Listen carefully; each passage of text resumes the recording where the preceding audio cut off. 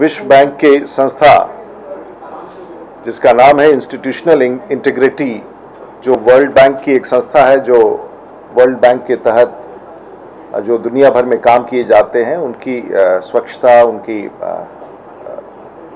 मानक और उनमें जो खर्च और व्यय होता है, उसका अध्ययन करते हैं। और उस प्रतिवेदन ने ये बताया है कि भारत में जो नेशनल हाईवे अथॉरिटी के जो सड़क पथ निर्माण के कार्य हैं, उसमें बड़े मात्रा में करप्शन है और कॉन्ट्रैक्टर्स के करप्शन, जो संवेदक हैं, उनके करप्शन के बारे में उन्होंने चर्चा की है। और उसमें जाली इनवॉइसेस जो पैसे दिए जाते हैं सड़क निर्माण के लिए, उसका उपयोग दूसरे प्रोजेक्टों में किया जा रहा है। स्वतंत्र तौर पर अधिकारियों को घूस दिया जा रहा है। अधिकारियों को तोहफा और बड़े होटलों में ठहराया जा रहा है। और यहाँ तक कि जो बड़े ट्रक्स इत्यादि जो रोलर्स, रोड रोलर्स इत्यादि जो खरीदे जाते हैं, उस पैसे के तहत सड़क निर्माण के लिए, उसका उपयोग दूसरे और तीसरे प्रोजेक्ट्स में किया जा रहा है। ये अपने आप में एक सनसनीखेज सनसनीखेज खुलासा है। क्योंकि भारतीय जनता पार्टी इस विषय को हमेशा उठाती रही है कि आज, जो लक्ष्य था इस देश में राष्ट्रीय उच्च पथ के निर्माण का, सरकार ने सदैव ये घोषणा की है कि उसका लक्ष्य 20 किलोमीटर प्रतिदिन है। और भारत में जो सड़कों का निर्माण हो रहा है, वो मात्र चार से पाँच किलोमीटर प्रतिदिन हो रहा है। भारत सरकार अपने लक्ष्य से तिरासी से पचासी प्रतिशत पीछे है, जो विश्व बैंक का खुलासा है और जो इस देश में सड़कों के हालात हैं और सड़कों के निर्माण की प्रगति है, विश्व, विशेष करके राष्ट्रीय उच्च पथों की। ये दोनों बातें एक दूसरे के पूरक के रूप में उभर के आ रहे हैं और सत्यापित कर रहे हैं कि इस देश में सड़क निर्माण में विशेष करके नेशनल हाईवे अथॉरिटी में बड़े पैमाने पर संवेदकों के साथ कॉन्ट्रैक्टर्स के साथ बड़े पैमाने पर लूटपाट मचा हुआ है। ये सिर्फ़ चिंता का विषय नहीं है।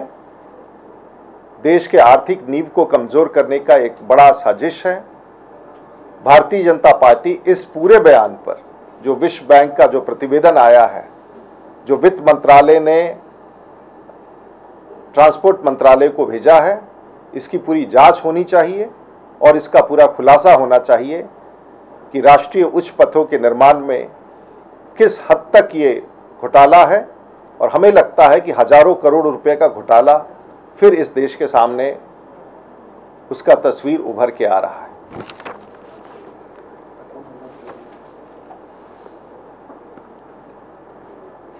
हम सब स्वागत करते हैं। दुनिया भर में वो ताकत जो आतंकवाद से लड़ना चाहते हैं और फिर से एक बार हफीज़ मोहम्मद साइद के खिलाफ अमेरिका ने लगभग 10 मिलियन डॉलर, यानी कि लगभग 50 करोड़ रुपए की राशि, उसकी गिरफ्तारी और उसके, उसे न्यायिक हिरासत में लिए जाने के लिए घोषणा की है। उसके साथ काम करने वाले उनके डिप्टी के खिलाफ भी इनाम घोषित किया गया है। भारत सरकार ने स्वागत किया है। भारतीय जनता पार्टी भी इसका स्वागत करती है। लेकिन सबसे महत्वपूर्ण विषय यह है कि दुनिया भर को इस बात का अनुमान ही नहीं, प्रमाण भी मिल गया है कि पूरे दुनिया में अगर सबसे बड़ा खतरा और दुनिया के सबसे खतरनाक आतंकवादी यदि किसी देश में बस रहे हैं, उस देश का नाम पाकिस्तान है, जो भारत का पड़ोसी है। हाफिज मोहम्मद साइद, जिसने 2008 में मुंबई के ताज होटल और मुंबई शहर में जो आतंक और आक्रमण किया था, जिसमें एक लोग मारे गए थे, जिसमें छः अमरीकी भी शामिल थे,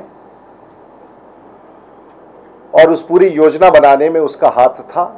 आज भी पाकिस्तान में है और पाकिस्तान के भीतर और पाकिस्तान के सुरक्षा में पाकिस्तान आज पूरी दुनिया के लिए खतरा के रूप में उभर के आ गया है और विशेष करके उस पृष्ठभूमि में जब ओसामा बिन लादेन पाकिस्तान में वर्षों तक छिपे रहे थे, अमेरिका को कानो कान खबर ना मिला था। ओसामा बिन लादेन को भी पाकिस्तान में एक मिलिट्री कैंप के निकट पाया गया। हमें लगता है कि अब पूरी दुनिया को चेतना चाहिए कि आखिर पाकिस्तान के साथ किस प्रकार से निपटा जाए और पाकिस्तान किस प्रकार से सिर्फ़ भारत में ही आतंकवाद नहीं बढ़ा रहा है, बल्कि पूरी दुनिया में आतंकवाद का एक सरगना के रूप में उभर के आया है। भारतीय जनता पार्टी इस इनाम का स्वागत करती है, लेकिन साथ साथ पूरी दुनिया से ये आग्रह करती है कि पाकिस्तान आज आतंकवाद का हब है और उस आतंकवाद के हब को समाप्त करने के लिए पूरी दुनिया की ताकत को एक होना पड़ेगा।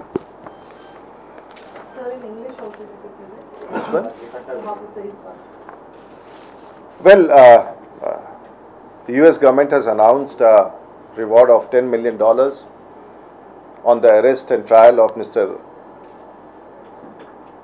on the arrest of trial of Mohammad Hafiz Saeed who has been responsible for the attack in Mumbai in 2008. He was the chief architect of the plan for attacking Mumbai and killing 166 people, injuring many others, including six Americans. It's a welcome step.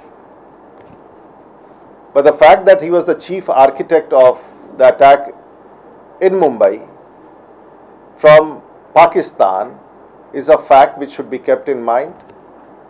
Pakistan is the hotbed of terror across the world, not only for India. It's a matter of grave concern, especially in the backdrop when Osama bin Laden was tracked down in Pakistan within the premises very close to the military camp. It's a matter of great concern not only for India but for the whole world that Pakistan is the hotbed of terror not only for India but for the world itself. We welcome this step. The world must unite to see that terrorism and terrorists are flushed out from Pakistan.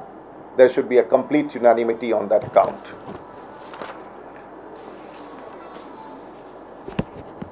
There is an organization which uh, looks into the affairs of uh, World Bank, which uh, assesses the World Bank uh, issues, and it's called the Institutional Integrity Unit of the World Bank. And it has come out with a report which says uh, about the fraudulent and corrupt practices of the contractors associated with road construction, especially the National Highway Authority of India.